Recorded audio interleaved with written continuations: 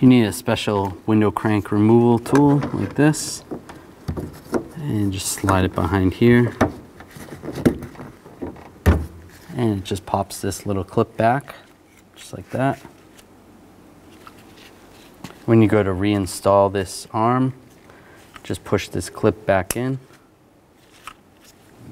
Take the new window crank arm and just line it up.